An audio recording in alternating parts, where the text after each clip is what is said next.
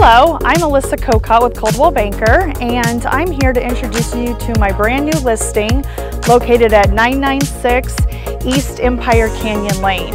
This property is located in Madera Highlands and is 2631 square feet with four bedrooms, three full baths, and a den. Let's go check it out.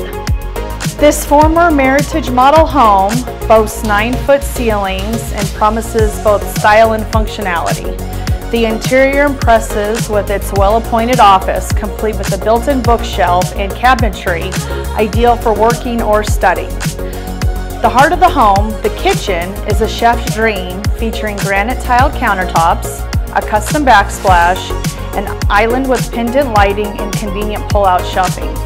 Recent updates include a new dishwasher, microwave, as well as a new gas oven stove and kitchen faucet. The kitchen opens seamlessly to the great room, creating an inviting space for entertaining or family gatherings. Throughout the home, you'll find custom paint in all the bedrooms and upgraded cabinets, including the laundry room. The interior common areas were freshly painted in 2022, and there are recessed lighting and ceiling fans for added comfort.